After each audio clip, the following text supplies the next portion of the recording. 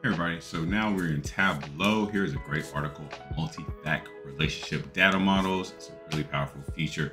If you ever run into an instance where you have one fact table and you have a dimension table, and you're like, man, I really want to join my dimension table to another fact table and do a comparison of, say, my marketing data to my sales data. This new update is the greatest thing that has come out for Tableau in a while. I've been really excited about this update since last year it was announced at the conference and now it's available it's live and i'm finally making a video on it. Very high level video but if you're familiar with star schema data architecture just basic concepts of data modeling you love this feature this feature is amazing. So let's go ahead and hop into why this is awesome why this is familiar and i'll show you an example in tableau. So let's start with our data and our data set. I have a sales table that is basically superstore and it has information from 2020 to 2018 and I made a duplicate of it and I just changed the dates to where my earliest date is 2021 but then my latest date is 2024 and then I made a regions table. But in this example I also want to create a date table so that I can join my calendar table to my two sales facts tables and do a comparison. So one way you can do this in Excel is to quickly create a date table. You can use Power Query which is awesome. Um, all you have to do is just Google how to create a date table in uh, Power Query. Great article by Rick DeGroot. I use this every single time I need to use it in Power Query.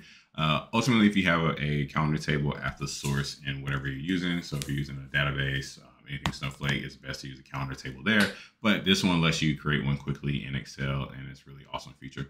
So what you want to do is a great article to check out. Let's go ahead and copy the M code and then we'll go ahead and go into Excel and then we'll go to get data and then we will then uh, go to our from other services and then select blank query. Now what this is, does, it opens up M, which is a language in uh, Microsoft World, but we're just going to go to advanced editor and we're going to just copy and paste that code in here. So now what we're going to do here, the biggest piece that we want to make sure we focus on is the start date and end date.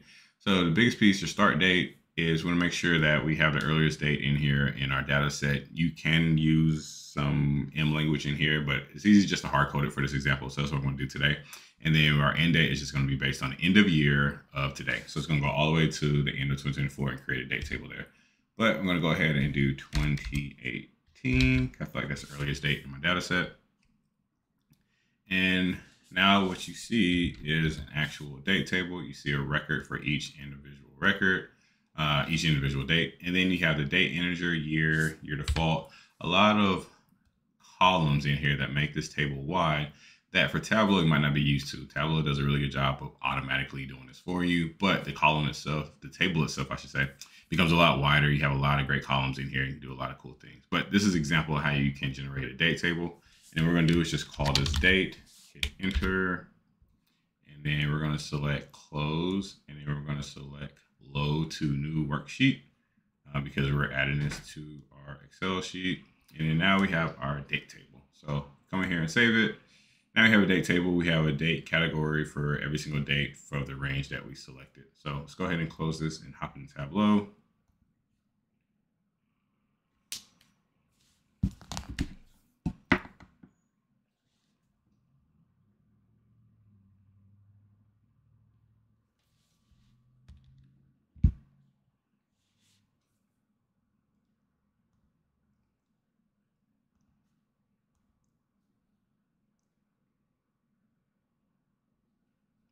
All right, now that we're in Tableau, we have created that connection to our Excel worksheet.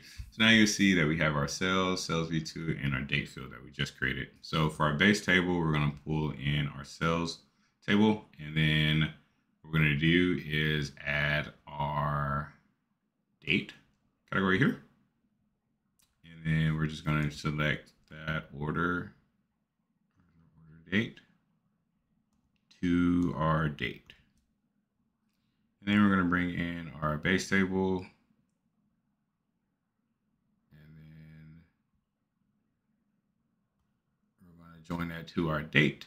And then now we're going to select our order date here. And then we're going to do our date here. So now as you can see, we have two fact tables. And then as you're building out stuff in Tableau, your your fact tables should be your base tables. They're your core components of it.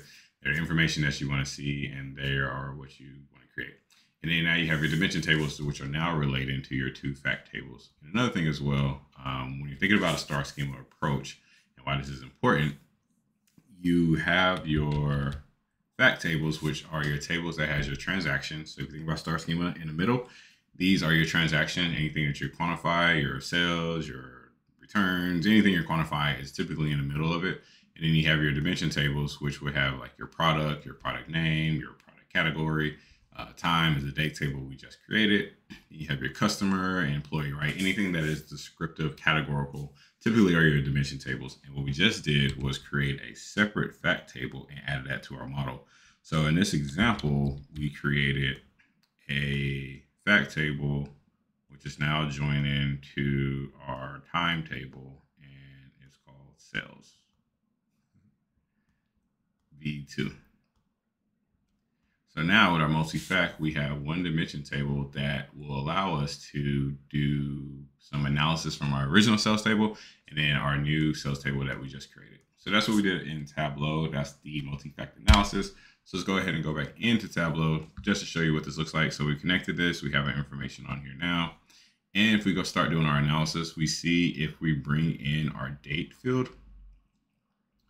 actually bring it in as discrete, discrete, all right, and then if we go to our first sales table, let's say we want to bring in our sum of sales. We'll just do sum of sales. Uh, we brought this in. Actually, want this to be an aggregate, so let me take this back. There we go. I want this to be a table, I should say, not an aggregate. But we bring this in, we see that we have our values in here now, and everything stops at 2021 because that's the date that we have in our particular data set.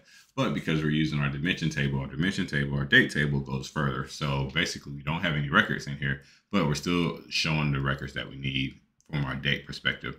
So now, as we bring in our sales V2 category in here now, we're going to bring our sum of sales. We're going to drag it in here on the table. And then now you can see when I drag over it that we have records from our sales. Let me switch this around. Original. So you see our sum of sales stops at 2021, like I talked about. But then as our sales for 2022 go about, now we're able to see sales that are higher and longer because we're using our dimension category. So because we're using a dimension, we're able to go further beyond with our analysis. It doesn't stop at the first fact table, which dates have stopped. We're actually leveraging our dimension table, which has longer dates, further dates, and we're able to leverage that. And then now we just create a calculation to show a variance. So if I want to create a quick calculation, that is sum of sales minus uh, sum of this, we'll call it variance. And we'll hit apply and then drag this on. We'll see now we're actually able to do an analysis between our two fact tables. So we're looking at three different tables and they all have a relationship. So two fact tables one dimension table, and then now we're able to do analysis between the two. Beforehand, you would have to just do a whole bunch of stuff to get the stuff to work between different fact tables. Your data model might not necessarily been uh, optimized. It could just been a lot of stuff. But now, because of the multi-fact analysis, this is a lot easier, a lot faster, a lot more performant um, to just be able to give you insights a lot faster. So I love multi-fact analysis. It's fantastic. It's great. Um, so if we move into Power BI, we're basically we do the exact same concept but we're going to build out a data model that has two fact tables, one dimension tables, and then you just bring it in. So if I go to Power BI and I have my model built out, my dimension table is this, my sales is this. I like left to right, so it's going to drive me crazy. Uh, so my first sales is on the left, my V2 is on the right. I have it brought in.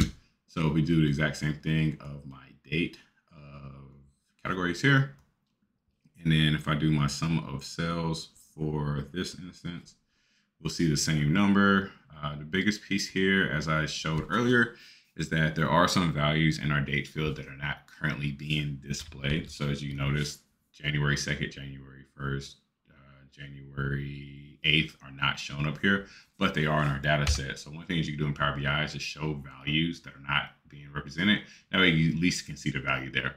So you do that, you click on date and you will select show items. All right, so you would do that and select show items with no data. And this will then open up and show your values. So now you see the no values are being displayed and don't have any data, but our dates are still relevant in our data set. So we do that. And if we go to sales V2 and go and bring in our sum of sales from V2, as we did earlier, scroll down and once we get to our data that has records, because I think it starts in 2021 for our data set, we will then see information in here. So now you're able to see information based on the date in our data set and we have multi-factor analysis. We do the exact same variance calculation and it'll be great. So I love multi-factor analysis. I'm so glad that I can use the same dimension table and join it to multiple facts and just have a very more performant uh, data model. Makes my life much easier makes architects' life much easier. It's just great. So this is one of my favorite features that came out in Tableau um, and Power BI, just data modeling, but I love it. It's great. So are you using this feature? Have you done this stuff or with it already? Let me know if you're doing some cool stuff. Send me some blogs, send me some content on it, and we'll talk y'all next week for Technology Tip Thursday. Have a great day.